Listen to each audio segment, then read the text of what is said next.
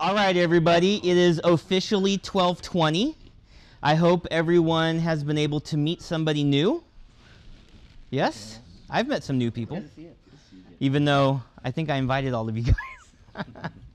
um, I do want to thank you today, and definitely, um, you know, this is the goal of SAMN is to not be in the same place over and over and over and over again. So our goal is to go to new churches and go to new parts of the metro area and to kind of hear and see like what's going on and what's happening. Um, so always pay attention. Uh, if you notice, I'm recording all of this just like we did at Jessup. The difference is I have two mics instead of one mic, and we'll have a little bit of a better audio for for this recording. Um, so uh, yeah, how's everyone doing so far? Doing good? Okay. We are going to start with an inspirational story. So, if I could have a volunteer for prayer, could I have somebody just kind of bless our time? Yeah, I can do that. Oh, awesome, Ben. Thank you. Lord, thank you for this day. Thank you for, um, yeah, all of these uh, these laborers in your harvest um, that you've sent um, us out or mobilized us or um, and doing your work, uh, fulfilling the Great Commission all around the world and um, where we live locally, Lord Jesus. Thank you for this food. We pray that it's a blessing to our body and that this time would just be encouraging uh, for each one of us. Uh, in Jesus' name, amen. Amen. Amen. All right. So this is our, our moment today that we want to kind of spend just a, a hair moment to talk about. Many times our ethnocentric culture uh, can cause us to see being a missionary in a certain light that focuses on our preferences. We see missionaries, even early missionaries, as being white or European. But in God's eyes, there is no race, there is no Jew or Greek. He will always use anyone who is yielded to Him for His purposes. Today, we're going to look at the benefits of enrolling in the Perspectives course this winter. I can assure you that it will change your heart, your mind. I'm sorry, it's in, yeah, in the winter, in the spring. Your mind and your global outlook. God may even tap on your shoulder and asking, who should go? So today's story is about an unlikely man, an African American man in a colonial America who was willing to yield himself to the touch of the master. You have probably heard of George L I E L E Liele. Okay. He is a fascinating he has a fascinating story and this will challenge your thinking. Give me a work I requested to my Lord and Master.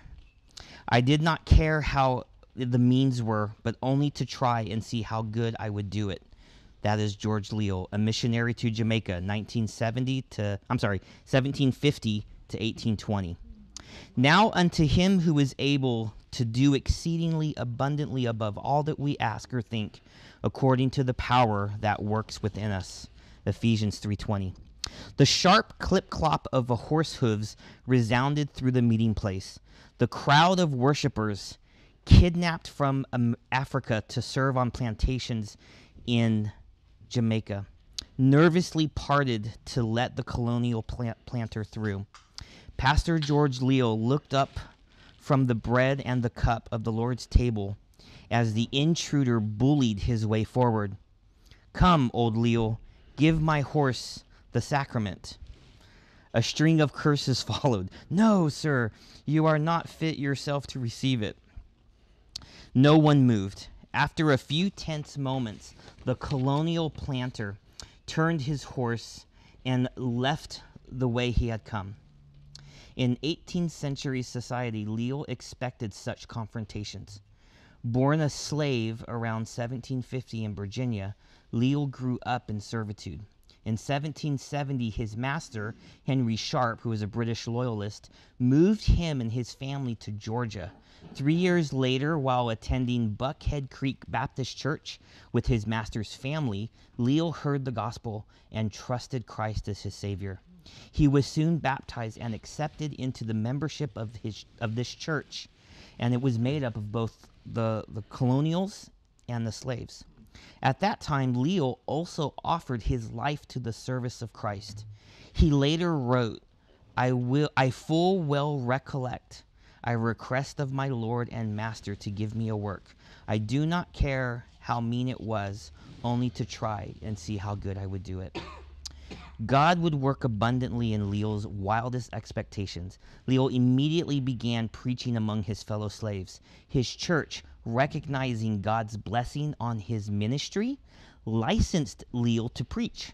Soon after, his master freed him from slavery to pursue the Lord's work.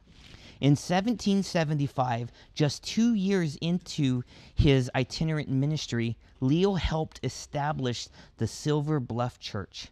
This church, located across the South Carolina border from, uh, from Augusta, Georgia, was probably the first African American church in America. Liele continued preaching on plantations until the War for Independence forced him to settle down.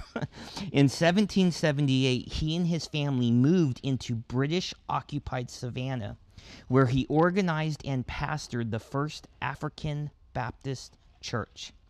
With the British defeat in 1783 and the uncertainty of the war's aftermath, Liele decided to emigrate to Jamaica. He indentured himself to a family of British loyalists to pay his family's travel expenses. Together, they sailed to Kingston, Jamaica. Though a free man himself, Liele bought his home near the colonial plantations where slaves from Africa labored. To support his family, he worked as a farmer and transported goods by horse and wagon. As he had in Georgia, Liele preached the gospel, and soon he had planted another church in Kingston. As the work grew to the surrounding plantations, Liele recruited men to become preachers and pastors.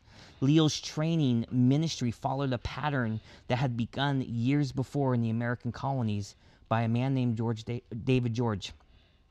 Liele led George to Christ and mentored him. Long after, David George became the pastor of the newly formed Silver Bluff Church.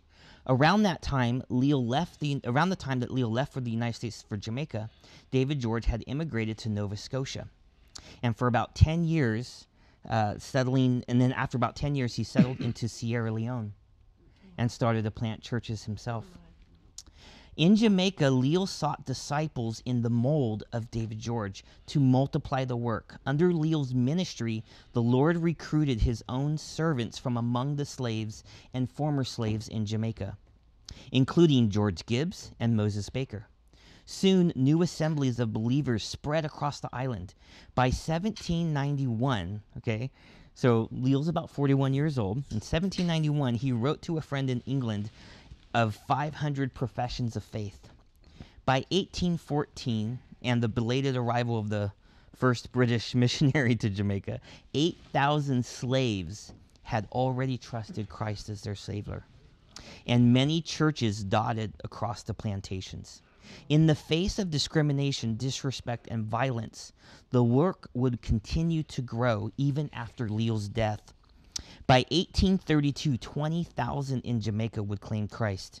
God answered Liele's prayer to give him a work and blessed it beyond what he could have ever have dreamed.